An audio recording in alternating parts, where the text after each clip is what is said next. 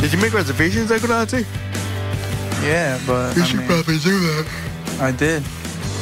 What time? Eight. Ah, somebody's nervous. Shut the f- up, bro. Don't be nervous, bro. Ramona's late tonight.